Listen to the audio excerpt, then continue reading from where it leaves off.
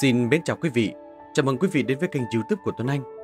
Và trong buổi đọc truyện hôm nay, Tuấn Anh xin tiếp tục gửi đến quý vị phần tiếp theo của bộ truyện tiên hiệp dài kỳ Già Thiên của tác giả Ngô Biển Quân. Kính mong tất cả quý vị trước khi nghe chuyện, hãy bỏ chút thời gian của mình ấn like video, đăng ký kênh youtube và đừng quên ủng hộ Tuấn Anh nhiều hơn nữa. Và ngay sau đây, xin kính mời tất cả quý vị cùng tiếp tục nghe chuyện. Lúc bây giờ, trong con ngươi của Vương Đằng tràn ngập tơ máu, hóa thành màu đỏ tươi, sát khí khôn cùng. Hoàng kim chiến xa cổ đều bị màn xương máu bao phủ, vô cùng yêu dị. An Diệu Y lắc đầu. Ngày này Bắc Đế sớm đã không còn tư chất kinh diễm của ngày xưa nữa. Tâm cảnh của hắn đã ngã xuống, nhưng lại đúng thật là không gượng dậy nổi. Mặc dù tu vi cao tới đâu, cũng không có khả năng chứng đạo. Vương Đẳng ra tay, đại chiến với An Diệu Y, cầm trong tay Hoàng Kim Thánh Kiếm bổ thẳng xuống. Cổ chiến xa cũng ù ù ngân vang, nghiền nát hết thảy ngăn cản. Ngọn núi, cổ mạch đều biến thành bột mịn. Chiến ý của hắn sông tới thẳng trời cao và ma khí khôn cùng vô cùng bao la. An Diệu Y ra tay, dùng Phật Pháp hóa giải, đối kháng với công kích của hắn, không ngừng quyết đấu. An Diệu Y, hôm nay người trốn không thoát được đâu. Ta muốn đem đầu của ngươi gửi đến Đông Hoang. Nghe hắn gào khóc, bị thương, nhìn hắn lừa giận công tâm, khiến cho hắn bì phẫn, không đủ sức xoay chuyển trời đất. Người không phải là một người cuối cùng. Về sau, ta sẽ liệp sát tất cả người có liên quan với hắn, giết chết từng người. Đầu lâu của các ngươi sẽ trở thành vật trân quý của ta. Diệp Phạm, ta muốn nhìn thấy ngươi trở nên bi thương, trở nên đau đớn và đau lòng. Ta chỉ mong nhìn thấy bộ dáng ruột can của ngươi đứt lìa từng khúc. Vương Đằng như là một kẻ điên, vừa khóc vừa cười, công kích như mưa xả bão táp, biến hóa ngàn vạn kiếm khí, không ngừng công kích. Đột nhiên, một cái nắm tay màu vàng đập nát chân không, đột ngột xuất hiện, lập tức liền đánh banh vương đằng cùng cổ chiến xa của hắn, văng bắn ra ngoài, làm hắn phun ra một ngụm máu to. Diệp Phạm từng bước một từ trong hư vô đi ra, trong tay cầm một cây trường thương màu đen, cũng không có phóng ra khí tức cường đại, nhưng lại khiến cho vương đằng đường trường biến sắc. Người là người đặc biệt ở đây chờ ta. Cùng với người hoàn thành nhân quả tại đây. Diệp Phạm bước đi tới phía trước. Ngày nay ở cùng thế hệ, có thể nói hắn đánh đầu thắng đó không gì cản nổi. Ở trên cao nhìn xuống bát hoang. Ngay cả thiên hoàng đều có thể bị giết. Càng đừng nói đến một tên vương đằng nhỏ nhoi. Đúng theo như lời Diệp Đồng như vậy, ngoài trừ nhân vật cao cấp, con của đế, đại địch của hắn ở trong tinh không này, người cùng một thế hệ ở viên cổ tinh này có thể đối địch cùng hắn đã không còn ai. Diệu y, đi đi thôi, ta lấy đầu của hắn xuống, kết thúc mọi chuyện. Diệp Phạm cất tiếng nói. An Diệu y rút lui, nhưng lại chiến trường. Nàng biết cho dù là vài tên vương đằng cùng nhau đến, cũng không phải là đối thủ của Diệp Phạm. Đạo tâm đã bị phá vỡ, còn có thể làm được gì? Vương đằng, trong vòng 30 chiêu, ta giết chết ngươi. Có bao nhiêu bản lĩnh, cứ việc thi triển ra hết đi. Diệp Phạm cất tiếng nói, trong lòng hắn vô địch, tản mát ra khí thế đều như thế. Người thật là cuồng vọng. Vương Đằng quát lớn, trong mắt đầy tờ máu như hai hàn đàm màu máu. Từng được tôn là Bắc Đế, hắn chưa từng bị người ta khinh thị đến như vậy. Hắn hận Diệp Phạm, mình bồng khôn cùng như sóng biển đông. Cuộc đời của hắn lần đầu tiên thân bại danh liệt, lần đầu tiên thống khổ cùng sỉ nhục đủ thứ, đều xuất phát từ Diệp Phạm, khiến cho hắn khắc cốt ghi tâm, đại hận khó tiêu. Vương Đặng phát cuồng, cầm trong tay hoàng kim chiến kiếm bổ thẳng xuống. Trên hoàng kim chiến xa cổ lại bay ra rất nhiều hư ảnh, trần lòng tiên vượng cùng nhau diệt địch. Đối mặt với những đạo ngân này, Diệp Phạm đơn giản và trực tiếp, chỉ có một kích, một tay cầm trường thương màu đen hoành tảo thiên quân quẹt ngang tới phía trước.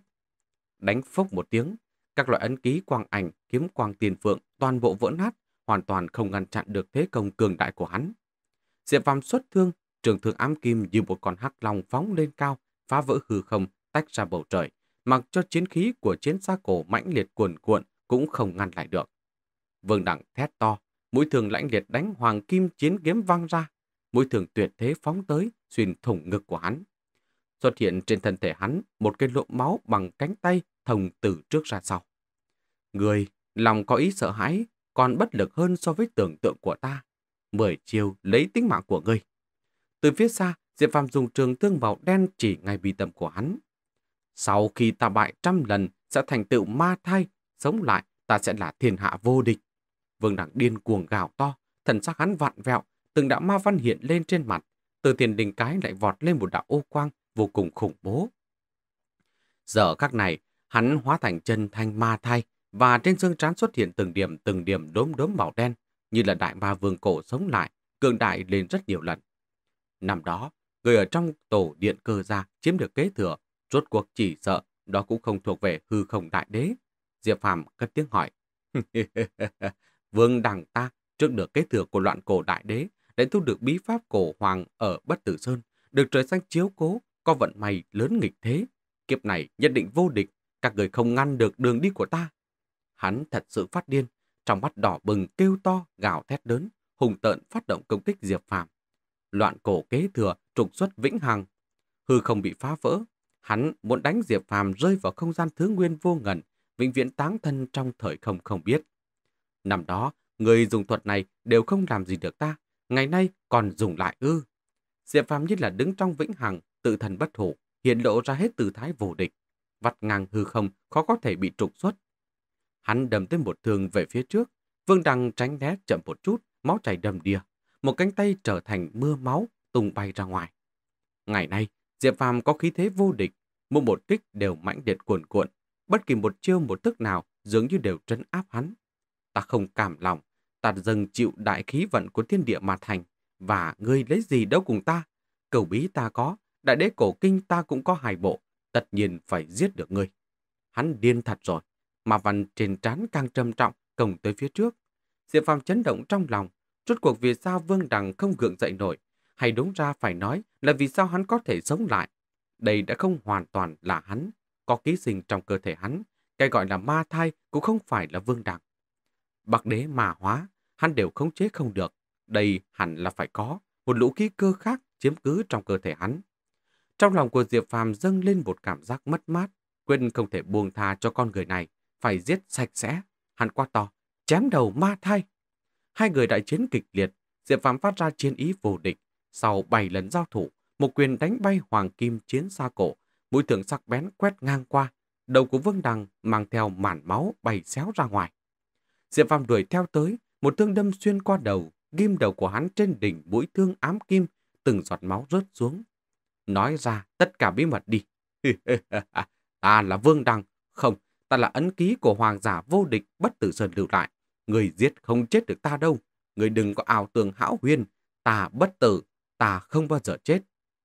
Mũi thường ám kìm sáng loáng sắc bén chớp động hào quang rực rỡ. Nhìn thấy máu tươi gây người nhỏ xuống. Phía trên kim một viên đầu và mái tóc đen bị dính máu thành một túm.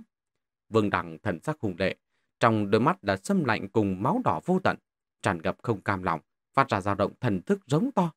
Người không chiếm được loạn cổ kinh, càng không chiếm được cổ hoàng kinh, ta dù có chết cũng sẽ không lưu lại cho ngươi.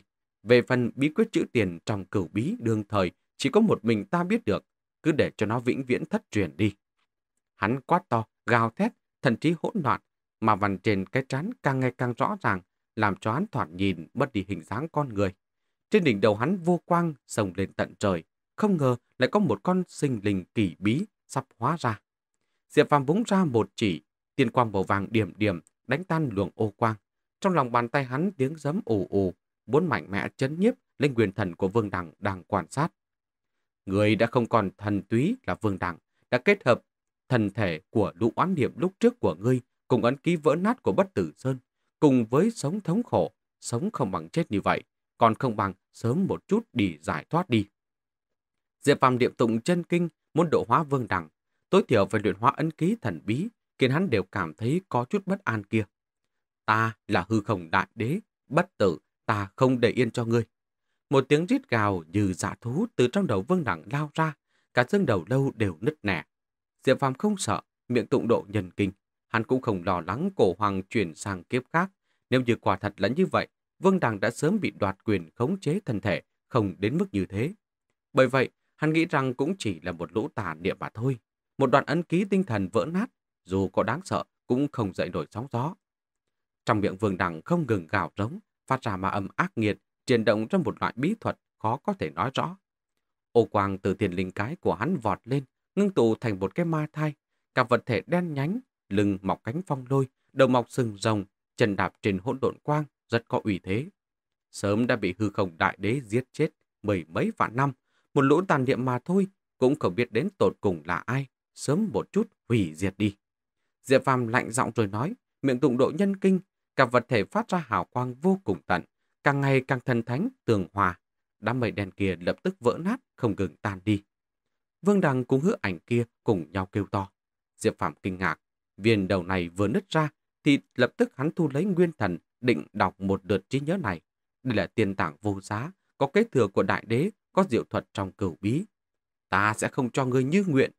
Vương Đằng gào to, toàn bộ nguyên thần đều đổ tung, hừng hực thiêu đốt. Diệp Phàm cướp lấy, không tiếc dùng thanh khí trấn áp, nhưng rất là kỳ lạ. Nguyên thần của hắn khó có thể khống chế, bị thiêu đốt càng ngày càng bùng phát, mặc dù chặt đứt tách ra cũng không được. Người không chiếm được bí quyết chữ tiền, tu nguyên thần, người không khống chế được ta. Cầu bí, từ đây thất truyền đi, vĩnh viễn thất truyền đi. Diệp Phàm dùng hết toàn lực ra tay, ngăn cản nguyên thần của hắn tự diệt. Bí quyết chữ tiền liên quan đến quá nhiều thứ, là diệu pháp vô thượng tu luyện nguyên thần, có thể có trước thời hạn cảm nhận được một loại nguy cơ. Nếu trong cơ thể hắn không có tiền đỉnh màu xanh biếc có thể che đậy thiên cơ, bằng không bị người ta thôi diễn ra, nói không chừng Vương Đằng có thể dựa vào bí quyết chữ tiền biết trước, không đến nỗi đến đây bị chặn giết. Vĩnh viễn người không chiếm được bí quyết chữ tiền. Theo ta, cùng nhau đi tới trùng điểm đi. Nguyên thần của Vương Đằng hóa thành một mảng hỏa quang, tấc tấc biến mất. Một người nếu đã muốn chết đi, ai cũng khó có thể ngăn cản, đặc biệt là lại nguyên thần này. Giam cầm không được, từng tu luyện bí quyết chữ tiền, nguyên thần hắn vô cùng đặc biệt. Diệp Phàm khó có thể phòng ấn, thậm chí vài lần thiếu chút nữa để hắn chạy thoát. Cùng lúc đó, mà thành bầu đen kia hóa hình ra có đôi cánh phong lôi, chân đạp hỗn độn quang cũng nhích động muốn bỏ chạy. Diệp Phàm thi triển hết cầu bí, các loại diệu thuật đều xuất hiện, đương trường trấn áp lại, sau đó một lần nữa xem quyền thần của Vương Đằng. Kết thúc đi. Vương Đằng kêu to, mà thai kia cùng một động tác với hắn, đồng thời nhích động, dãy dụa kịch liệt, sau đó âm một tiếng nổ tung. Xong rồi, xong cả rồi. Trong lòng Diệp Phàm lạnh hết một nửa. Trong nguyên thần bọn họ có bí bảo, tất cả đều nổ tung. Thanh khí đều giam cầm không được. Thiếu chút nữa làm cho hắn bị thương nặng. Hạc tiễn phát ra ô quang ngăn chặn năng lượng gió lốc. Hắn chỉ cắt đứt một chút mảnh vỡ nguyên thần, còn lại tất cả đều mai một. Thật đáng hận. Vương Đằng hình thần cầu diệt, trong lòng bàn tay Diệp Phàm chỉ có mười mấy mảnh vỡ lạc ấn. Hắn cẩn thận tìm kiếm, không có chỗ nào trọng dụng. Tất cả đều là tạp niệm mà thôi.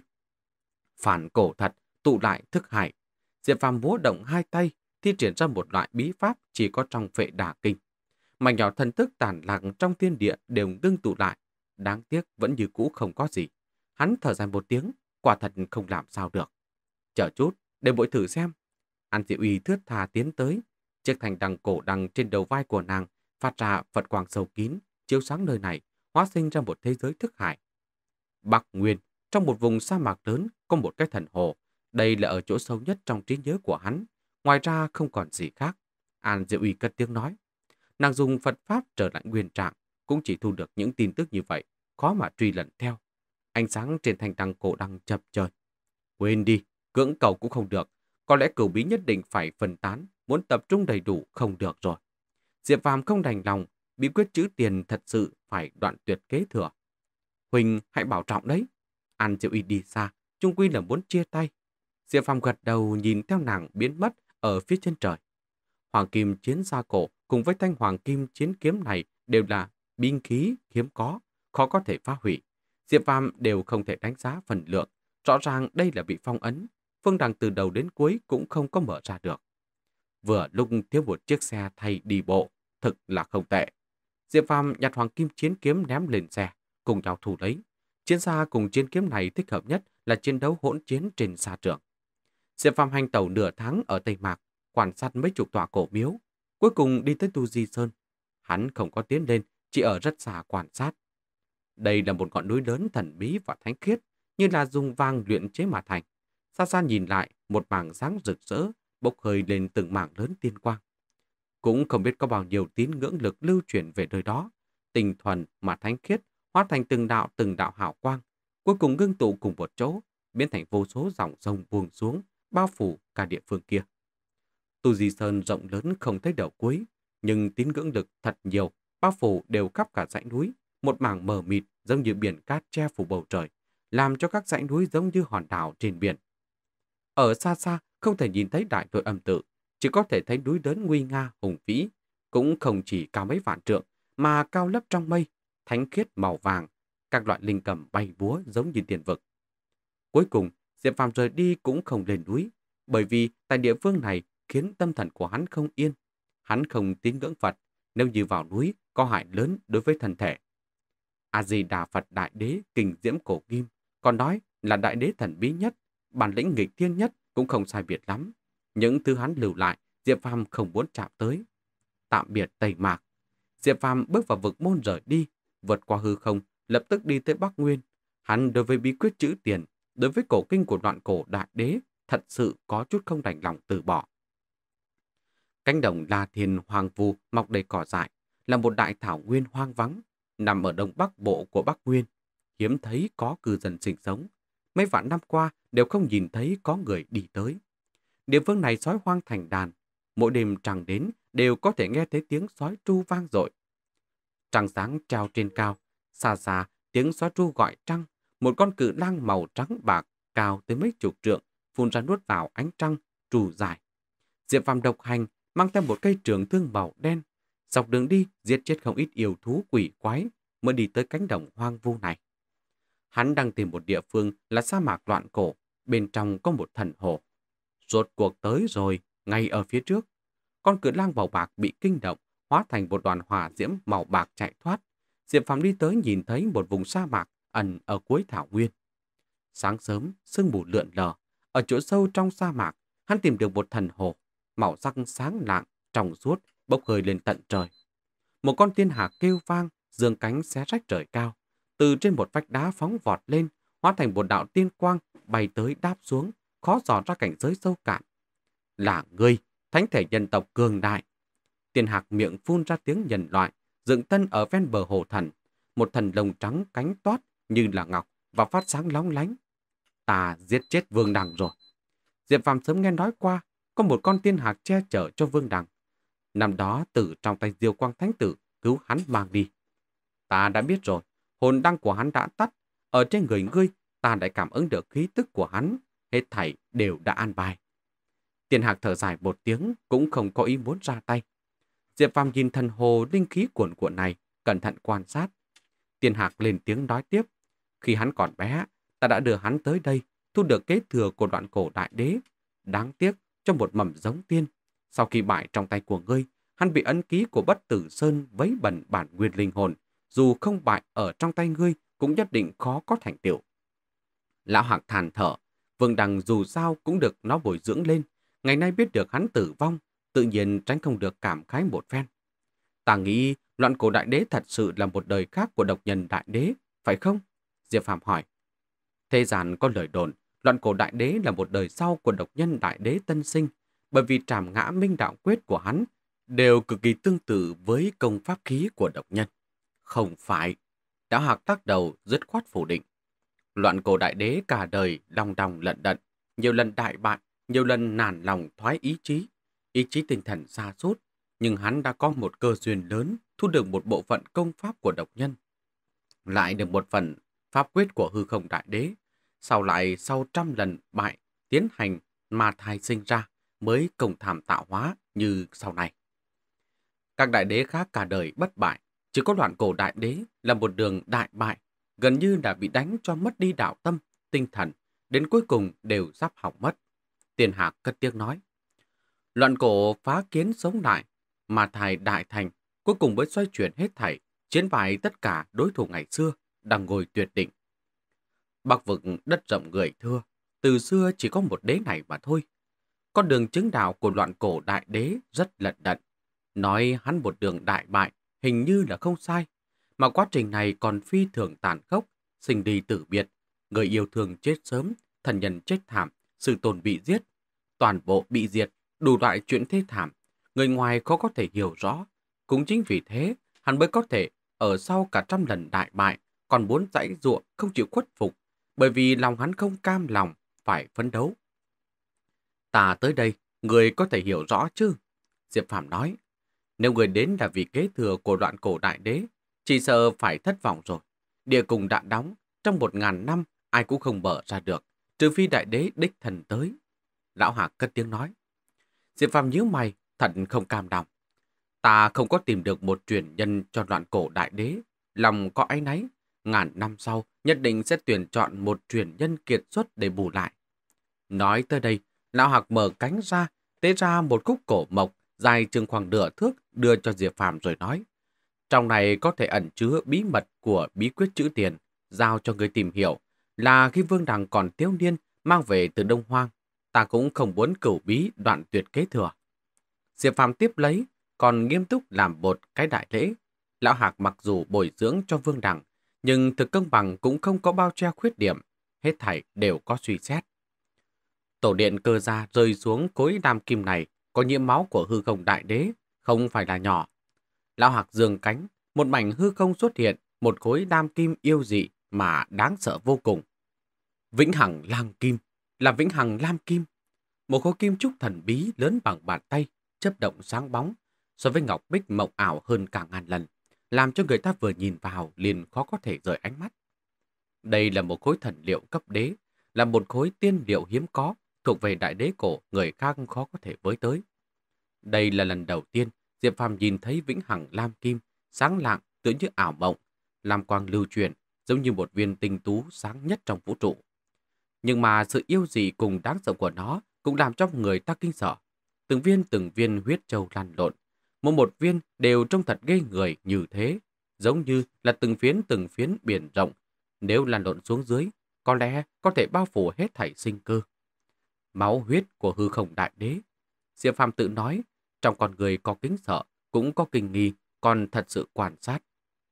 Không thể nghi ngờ, Vĩnh Hằng Lam Kim chính là một khối mảnh nhỏ của bình khí, là bị người ta đánh gãy một góc, dính máu của hư không đại đế, rơi xuống từ tổ điện cơ ra. Những tình huống này thật khiến người ta nghĩ tới thời xa xưa, đồng thời kinh sợ từng hồi. Hư không đại đế lại bị thương, trong cơ thể dì lưu một mảnh nhỏ.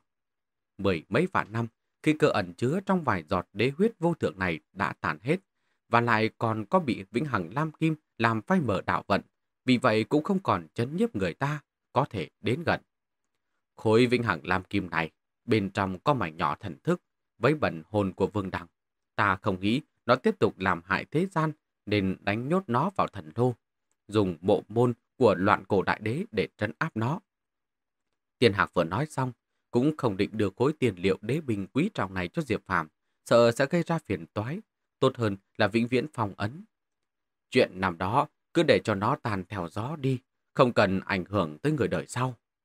Đồng một tiếng, Lão Hạc nói xong, liền ném vĩnh hằng lam kim vào trong thần hồ. Bọt nước bắn tung lên rất cao, sau đó nó phóng lên cao, vỗ cánh hót vang.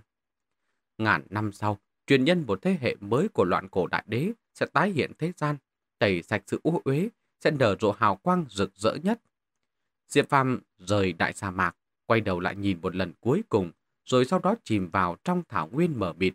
Hắn cầm trong tay một khúc cổ mộc, mặt trên không có một chút tia sáng, búng lên đó liền kêu boang boang, giống như tiếng kim loại va chạm. Bí quyết chữ tiền có liên quan cùng nó ư, sao nhìn không ra có chỗ nào khác thường gì? Hắn không khỏi tự nói.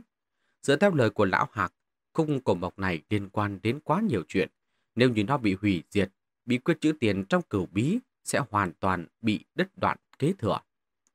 Diệp Phạm quan sát cẩn thận hồi lâu, không tìm được gì, dù chỉ là một tia đạo ngân. Cuối cùng, hắn đành thù xuất, và có lẽ không phải là lúc, thời cơ không đến, không thể ngộ ra, cần phải xem cơ duyên chăng. Hắn rời khỏi Bắc Nguyên, bước vào vực bồn một mình vào Trung Châu, đi về hướng kỳ sĩ phủ, muốn tra xét tinh không cổ lộ thông ra vực ngoại. Cái gọi là thí luyện mạnh nhất trên lịch sử đến tột cùng tiến hành ở địa phương nào? Mấy ngày nay, Đồng Hoàng dùng chuyện lớn, thiên hoàng tử đã chết, bắt bộ thần tướng bị tiêu diệt, côn trụ đại thánh bị giết, giống như là sóng đại dương mênh bông vỡ đê, sóng biển mãnh liệt cuồn cuộn phủ xuống. Toàn bộ Đông Hoang, mọi người ở nghị luận, toàn bộ người trong thiên hạ đều đang chú ý. Tuy rằng thánh hoàng tử đều đã gánh lấy hết thảy trách nhiệm vào mình, nhưng mọi người đều biết là người thần bí chém chết thiên hoàng tử. Người này đến tột cùng là ai? Hắn trở thành tiêu điểm là của năm địa vực đều muốn biết. Thế nên, thế nhân đều suy đoán, tất nhiên chính là Diệp Phàm trở về. Hiện tại, khắp các nơi đồng hoàng đều không bình tĩnh. Một hồi đại chiến hạ xuống màn tre, nhưng trận phong ba này dường như chỉ mới bắt đầu mà thôi. Tuy rằng đấu chiến thắng Phật pháp lực vô biên, mạnh mẽ chân nhiếp, nhưng là dù sao, lão đã trở về tù di sơn, muốn xuống núi lần nữa, không chừng phải chờ không biết tới thời điểm nào. Có rất nhiều người đều muốn tìm ra Diệp Phạm, nhất là cổ tộc, nghĩ rằng át hẳn hắn đi tới một thế giới nào đó, có bí mật không muốn người ta biết. Năm đó, một trận chiến ở tổ miếu Trung Châu, không có người nào tìm được lục đỉnh. Mọi người có lý do để nghĩ rằng ngũ sắc tế đàn có thể có liên quan tới bí mật của hắn. Nhưng cuối cùng, chỉ có Diệp Phàm dựa vào cánh cửa tinh vực này rời đi. Những người khác đều không thể đi lên. Rất nhiều người của cổ tộc đều muốn hiểu rõ có liên quan tới hắn hay không. Cũng không chắc là Diệp Phàm ngày nay trừ thánh vực ngoại sắp tới, con đường thành tiên sắp mở ra. Không chừng đó là đệ tử của một vị thánh hiền nào đó chăng? Đương nhiên cũng không phải mọi người đều cho là như vậy. Một ít tu sĩ phong đoán rằng có lẽ là một vị khách đến từ vực ngoại khác gây nên cũng không chừng. Không có khả năng, tuyệt đối là thánh thể nhân tộc. Bằng không như thế nào cùng thánh hoàng tử đồng loạt ra tay, ngay cả con chó khốn kiếp đại hắc cẩu kia cũng xuất hiện. Hầu hết tất cả mọi người đều tin chắc, nhận định là thánh thể nhân tộc. Mới vừa đến viên cổ tình này liền tạo ra sự kiện chấn nhiếp thế gian, chém thiên hoàng tử. Điều này không thể nghi ngờ là một chấn động lớn. Tại Đồng Hoàng, phố lớn ngõ nhỏ, phàm là chỗ có tu sĩ, tất cả câu chuyện đều là đề tài có liên quan tới Diệp Phàm. Ngay đến người của Trung Châu, Nam Lĩnh, Tây Mạc cũng như thế. Mấy ngày nay đều suy đoán hắn đi nơi nào, khi nào sẽ hiển lộ chân thân. Thánh thể nhân tộc quá cường đại, ngay cả tiên hoàng tử đều giết đi. Đám hoàng hư đạo, hòa kỳ tử cũng không thể ngăn chặn, bì kịch. Thật là một hồi thảm án mà. Có người cổ tộc cất tiếng nói. ta nghĩ mấy ngày nay hắn cũng không chịu nổi đâu. Mặc dù đấu chiến thắng Phật lên tiếng, cổ vương cấp thánh không được ra tay với hắn. Nhưng ta cũng không tin không có người lén lút làm can. Điều này người nói ra kể ra cũng đúng. Bất tử thiên hoàng là thần binh được vạn tộc cùng tôn sùng. Hắn đánh chết tươi thiên hoàng tử, còn không cho báo thù sao? Khẳng định có cổ vương cấp thánh, trong lòng phẫn nộ, không dám công khai đến, còn không thể trong bóng tối đi giết hắn sao? Không sai, hắn còn nắm giữ bí mật vượt qua tinh vực, một viên sinh mệnh cổ tinh thần bí. Không nói gì khác, chỉ riêng như thế đã có cổ vương muốn tìm tới hắn rồi. Mấy ngày qua, Diệp Phàm rời Đông Hoang, khắp nơi nhân mã đều xuất hiện, tất cả đều đang tìm hắn, ai cũng muốn là người đầu tiên tìm thấy hắn. Thánh nhân không ra, ai cùng tranh phong đây? Ngày nay đây là nhận thức chung của mọi người. Ở niên đại thiên hạ không có thánh này, chỉ sợ không có mấy người có thể là đối thủ của Diệp Phàm. Thiên hoàng tử bị chém, đây là một chiến tích huy hoàng rất khó vượt qua. Hoàng hư đạo, cơ tử, thánh hoàng tử là một vài nhân vật không nhiều lắm có thể luận bàn cùng hắn, trừ phi có nhân vật cường thế từ vực ngoại bùng xuống, bằng không ai có thể là địch cùng hắn đây. Diệp Phàm đi tới kỳ sĩ phủ, hạ thấp người đi vào, không muốn để người ta nhận ra. Ngày nay thiên hạ bốn bề nổi sóng, cũng không biết có bao nhiêu người muốn tìm bắt hắn. Nhiều năm qua, kỳ sĩ phủ cũng không thay đổi gì lớn, tọa làng trong tiên sơn linh khí nồng đậm nhất, khí tượng hoàng ngàn vạn trọng, khí trời tiên quang lượn lờ và muôn hình vạn trạng, nguy nga tráng đệ vô cùng. Làn trì cắm rễ trên vách đá, lão rào dẫn nước trong hồ sâu, chim đoàn bay lượn bên ngoài quỳnh lâu điện ngọc, kỳ đân cổ thụ nằm trước bàn đá. Nhiều năm qua đi như vậy, tu sĩ lưu lại trong phủ sớm đã giành chấn một phương, không sai biệt lắm, đều trưởng thành cả rồi. Nhân vật đời sau dần dần thay thế cho thế hệ trước. Vượt qua thiên địa biến hóa này, niên đại của đại đạo quy tắc không còn đáng sợ nữa. Chỉ cần phấn khởi, yêu nghiệt cùng thiên tài đều sẽ phát sáng, thiên địa đều có thể sáng chế một phen. Trở lại chốn cũ, Diệp Phàm quan sát hết thảy trong kỳ sĩ phủ, có chút hoài niệm.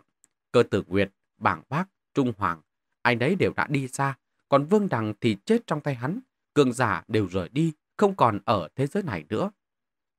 Bọn họ đến tột cùng đi tới một địa phương như thế nào mà được gọi là thí luyện mạnh nhất trong lịch sử. Diệp Phàm một đường đi tới, hướng về chỗ phủ chủ của kỳ sĩ phủ bế quan, tu luyện tới cảnh giới hiện tại, hắn càng ngày càng cảm thấy kỳ sĩ phủ khó lường được. mỗi một chỗ bố cục đều có kỳ chú. Núi đá phập phồng, ngọn núi thành giấy, trên mặt đất long khí dâng tràn. Mỗi một đệ tử ưu tú đều có thể có được một ngọn núi để bế quan. Một con đường cổ xưa uốn lượn, cũng là không biết đã tồn tại bao nhiêu năm trước, nhìn như thực ngắn, nhưng là vĩnh viễn không đi đến điểm cuối. Một thế hệ chúng ta, lớp này chết đi, lớp trước biến mất, mấy vị yêu nghiệt nghịch tiền nằm đó, không còn lại mấy người. Bên đường có một quán trà, cũng có quán triệu nhỏ dựng dựa vào núi, có đệ tử cùng tu sĩ của kỳ sĩ phủ ngồi bàn nhậu, đàm luận thế cục thiên hạ. Các người nói thật là thánh thể giao, thật quá cường đại đi, ngay cả thiên hoàng tử đều chép chết. Thiên hạ ai có thể là địch với hắn nữa chứ? Này, các người có nghe nói không? Có người ở Tây Mạc nhìn thấy Vương Đăng hừ hừ thực thực bị thánh thể đánh chết rồi. Có người đứng từ rất xa xem trận chiến ấy đấy. Ngay cả Vương Đăng đều đã chết. nằm đó là Bắc Đế, là nhân vật số một số hai của kỳ sĩ phụ, là người mạnh nhất cùng một thế hệ trẻ tuổi khắp thiên hạ. Thế mà cứ như vậy kết thúc. Không ít người cảm thán, một thiên kiêu của thế hệ cuối cùng lại rơi vào một kết cục như vậy, vì sự cường đại của Diệp Phàm mà khiếp sợ. Nhân vật đỉnh cấp quét ngang qua cổ tộc, nhân vật hiển nhiên là vô địch thủ. Thật là không nghĩ tới, mười mấy năm không hề có tin tức, chiến một trận lực lượng lại mạnh tới mức này. Trên đường chứng đạo, nhiều thi thể hài cốt, thánh tử, thần tử, cổ hoàng tử đều lần lượt tây đầy đất ở dưới chân của hắn. Ta mơ hồ nhìn thấy một đại đế đang quật khởi. Một tu sĩ cất tiếng nói, cái này đúng thật là khó có địch thủ. Hoàng hư đạo, hoa kỳ tử không ra, đương thời không ai có thể sánh bằng hắn. Không biết mấy vị huyết mạch cổ hoàng kia khi nào thì sẽ chiến bộ trận cùng hắn đây. Hắn trùng quỳ là khó có thể chứng đạo.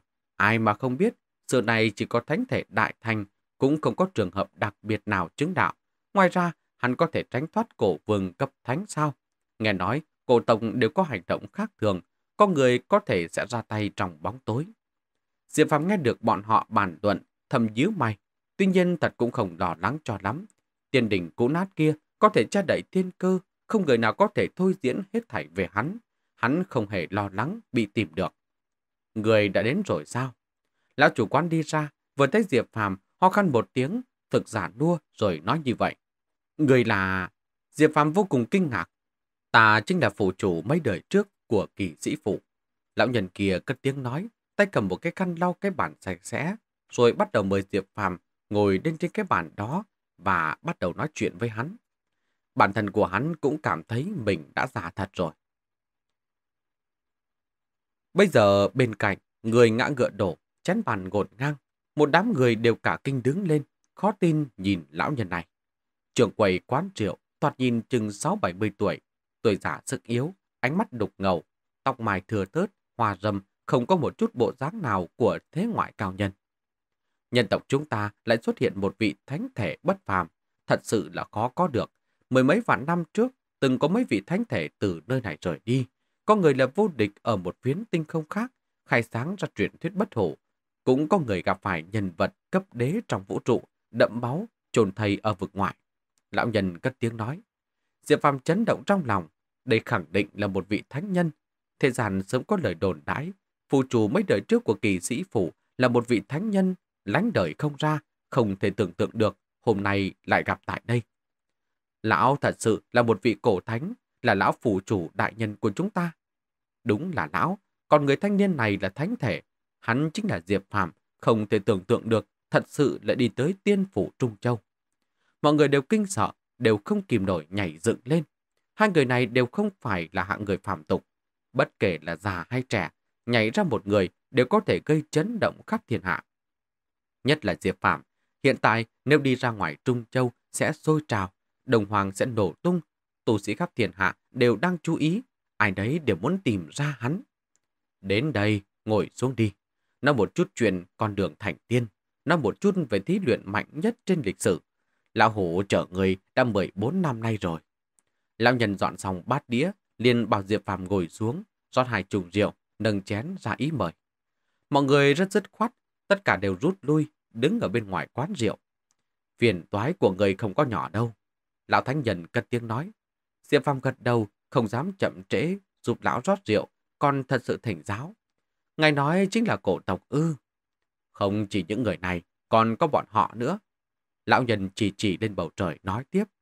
Trừ thánh vực ngoại có thể bước trên tinh không cổ lộ, tìm được đến đây, có người nào là phạm tục chứ?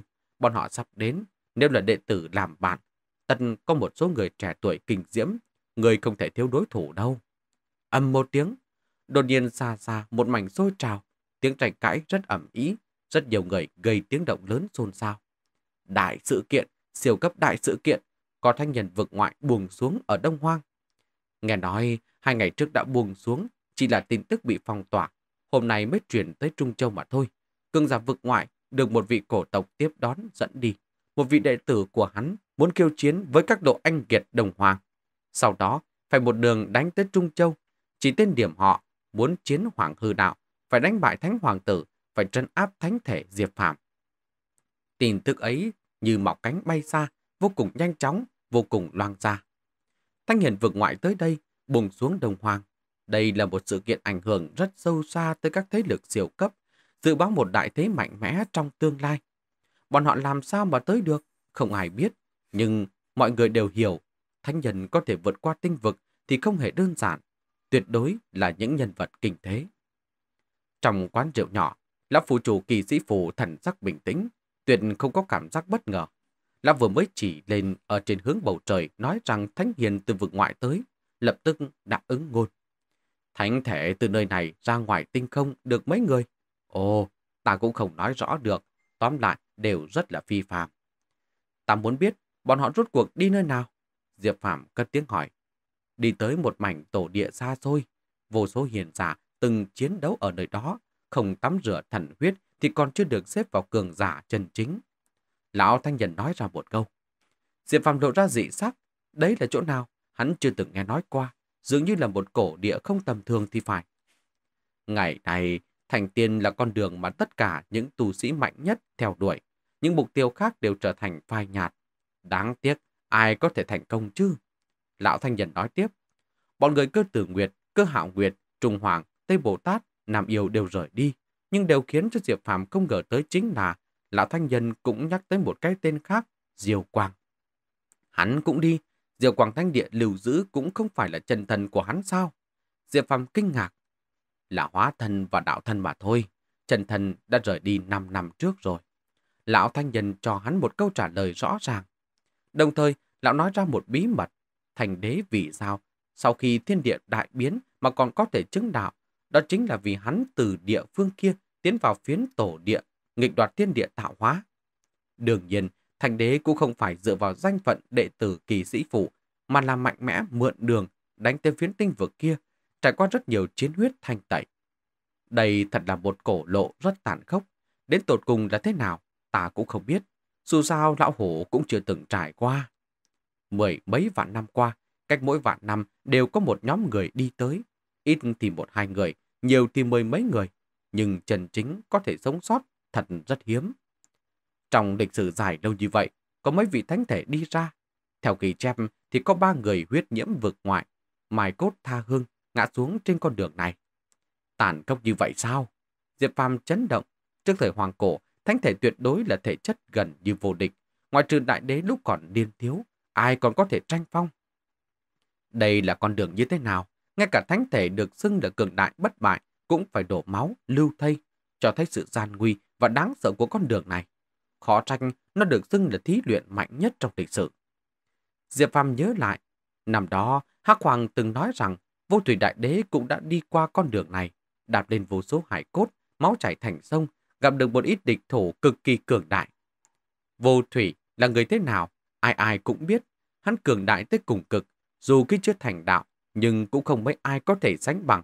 Nếu gọi là kình địch, thì tuyệt đối đó phải là những kẻ thật sự rất khủng bố. Đương nhiên, những người đó sinh cùng thời với vô thủy đại đế cũng chính là một sự bi ai, bị chiến bại là điều không thể tránh được, vì dù sao hắn cũng là duy nhất. Có mấy người còn sống chứ? Vô thủy, đại đế, thành đế, ngay cả thánh thể cũng có ba người bỏ mạng, tiền huyết khô kiệt, thi thể lạnh lẽo. Diệp Phạm nấn ná mấy ngày ở kỳ sĩ phủ, sau đó cáo biệt rời đi, chờ đợi nửa năm sau, từ khi cổ độ mở ra sẽ bước vào tinh môn thần bí. Tại Đồng Hoàng, một vị thánh hiền vực ngoại buông xuống, gây ra ảnh hưởng rất lớn. Toàn bộ người trong thiên hạ đều nghị luận. Thành tiên lộ sắp mở ra, thế giới này sẽ sớm không còn yên bình nữa. Thành tiên, mục tiêu cuối cùng mà đại đế cổ theo đuổi, nhưng vẫn không thể nói rõ được. Có thật sự tồn tại tiên vực hay là không? Có thật sự có vũ hóa phi tiên hay không? Cổ hoàng, nhân đế đã thôi diện đại thế, ký thác hy vọng vào hậu nhân, thời đại này rốt cuộc sắp mở ra.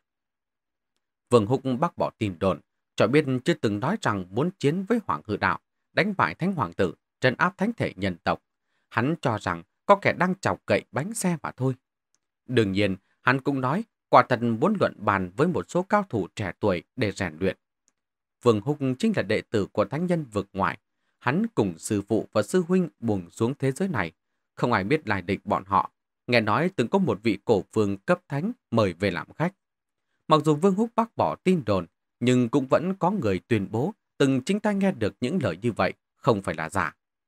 Hai ngày sau, tại thần thành Bắc Vực, huynh vội Hòa Kỳ Tử, Hòa Lân Nhi cùng Vương Húc trẻ chén một phen, nói chuyện rất vui vẻ. Nhưng mà qua chưa tới nửa canh giờ, từ lâu này giải thể, dần nứt nẻ rồi hoàn toàn vỡ nát, bụi mù đầy trời. Có rất nhiều người nhìn thấy thân hình Vương Húc lảo đảo, mặt bụi bầm dập, thần sắc khó coi tới cực điểm. Vương Húc động thủ với cổ hoàng tử, thiệt thòi nhiều. Có thể giữ được mạng dưới tay cổ hoàng tử thì chỉ hơi mất thể diện một chút mà thôi. Tù vì như vậy cũng đủ khiến cho người ta thán phục rồi. Có rất nhiều người nhỏ giọng nghị luận. Mọi người ở thần thành cùng rất giật mình. Từ lâu kia đổ sụp, thần sắc Vương Húc hậm hực rời đi. Vương Huỳnh đi thong thả. Lần này thật sự có lỗi, không ngờ lại có Hoàng Huỳnh chạy tới. Giữa hai vị cũng chỉ là hiểu lầm mà thôi. hòa Lân Nhi ở phía sau tươi cười hồ lớn. Mọi người nghe vậy cảm thấy vô cùng kinh ngạc. Nhìn tình hình này không phải là huynh muội hỏa lân động ra tay. Chẳng lẽ là người khác sao? Bụi mù tràn ngập, mọi người chỉ nhìn thấy một thân ảnh mơ hồ rời đi, không nhìn thấy được chân thân người này. Mọi người đều chỉ đoán mò mà thôi. Chẳng lẽ là thánh hoàng tử tới đây, bật mãn với sự cuồng ngạo của hắn nên mới đánh nhau sao? Hơn phần nửa là như vậy, bằng không ai lại làm như vậy cơ chứ? Cũng chỉ có thánh hoàng tử mới có được thực lực như vậy thôi. Không đúng, đạo thân ảnh bờ hồ vừa rồi có vẻ giống hoàng hư đạo. Mọi người hoài nghi, nhưng trùng quỳ vẫn không thể xác định được thân ảnh kia rốt cuộc là ai. Có quan hệ gì với ta đâu, tới sớm không bằng tới kịp lúc. Thanh hoàng tử đột nhiên xuất hiện trên thần thành, một cồn quét ngang. Ngươi! Vương húc kinh hãi.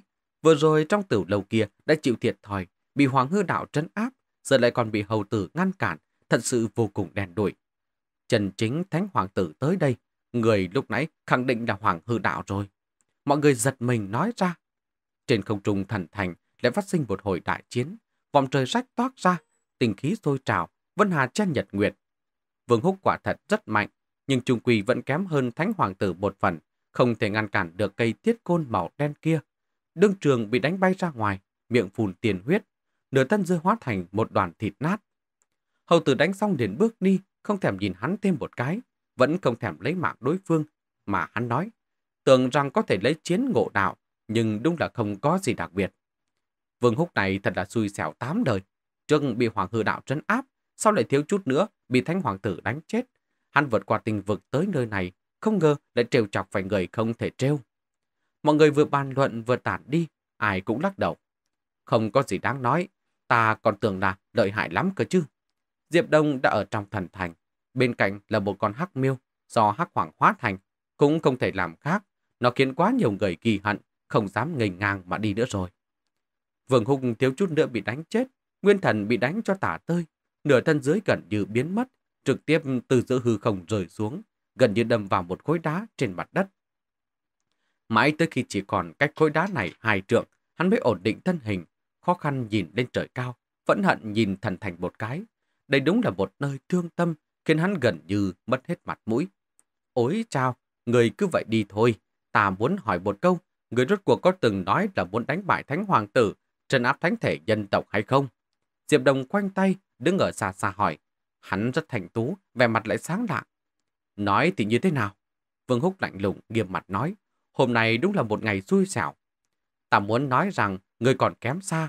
Quả mấy năm nữa, chưa ta trảm đạo rồi, phong trưng chỉ tát một phát là người hóa thành đống thịt ngay. Diệp Đồng lắc đầu. Lớn mật, một tên mau đầu tiểu tử cũng dám bất kính với ta sao? Vương Húc lập tức nổi giận, quên mất lời sư phụ sư huynh răn dạy, cùng với việc phải bác bỏ lời đồn, hiện hắn dẫn tới độ gần xanh đổi đầy mặt. Hắn vỗ một trường là thủ đoạn của cường giả trảm đạo tuyệt đỉnh, thành thế khiến người ta sợ hãi, tốc độ lại nhanh như điện. Một tiếng ngựa hí vang lên, một con ngựa hoang nhìn không thần tuấn mấy lao tới, hất Diệp Đồng lên trên đường bình, rồi lao thẳng vào Vương Húc. Đây chính là Long Mã, nhưng nó không dám lộ ra chân thân, trẻ dâu lòng cốt hình dáng, biến thành một con ngựa hoang. Bằng không thân là thủy thú mà chỉ đại đế cổ mới có được, xuất hiện nơi này sẽ vô cùng bắt mắt. Diệp Đồng ngồi trên lưng ngựa, ung dung vô cùng. Bản thân lực công kích của Long Mã cực cao, một thân đạp tới kêu gào. Tận đạp tên vô dụng ngươi. Đông một tiếng, vương hung tại đường trường đều là bị đá văng đi. Một cánh tay bị gần như gãy nát, phần ngực hiện rõ một dấu chân ngựa, thiếu chút nữa bị đạp xuyên qua. Đây dường như là Diệp Đồng, đệ tử của thánh thể nhân tộc. Không ngờ hắn cũng tới đây. Có người đoán ra thân phận Diệp Đồng, vẻ mặt sợ hãi, cũng khiến không ít người cảm thấy chú ý.